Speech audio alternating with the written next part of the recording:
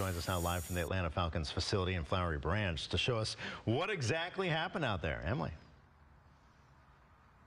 Hey guys, Matt Ryan signed a one day deal to retire as an Atlanta Falcon. He joked it was a team friendly deal, saying he gave them the hometown discount. But in all seriousness, you'll continue to see him on TV. He'll call games for CBS as he did this past season. He just won't be playing anymore. So after 15 seasons, four Pro Bowls, and one MVP award, he's putting up his cleats. When asked, guys, and he did laugh about this, he does believe he should be in the Hall of Fame given his body of work.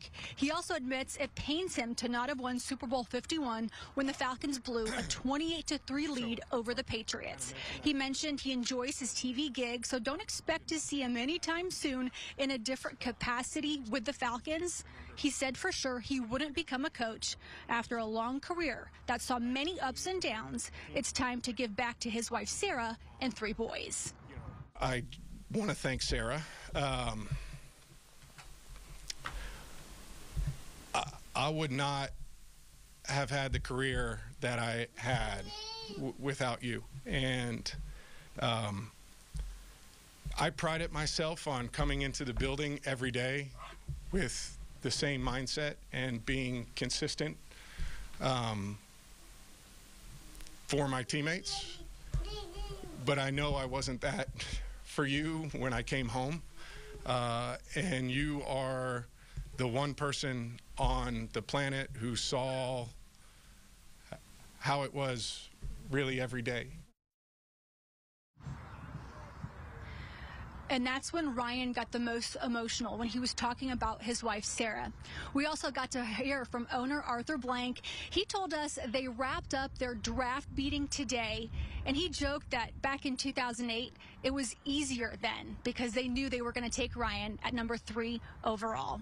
Of course, the 2024 NFL draft is coming up this Thursday. The Falcons have the eighth overall pick. Reporting from Flowery Branch, Emily Gagnon, Atlanta News First. Matt Ryan retired as an Atlanta Falcon today. He gave 15 years of his life to the NFL, 14 of them to the Falcons.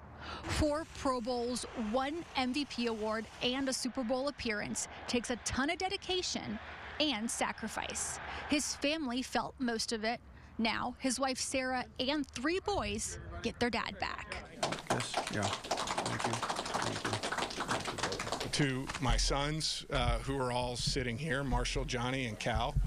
Um, you know, my my one wish was that I could have, you know, played longer, uh, so that you guys would have been able to share in that spirit uh, experience, and more so than that, I'm excited to see what you guys are going to become.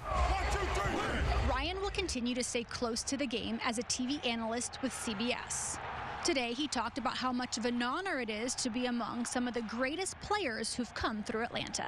Dominique or Chipper or you name the pitcher for the Braves, right? Like, there's just some unbelievable guys that, that have come through this city and been able to play uh, at a high level for a long time. And just to even be mentioned, you know, with, with those guys, um, to me, you know, I think back of those Braves guys, they like ruined my childhood growing up as a Phillies fan. And Ryan was asked if the TV analyst in him would put him in the Hall of Fame.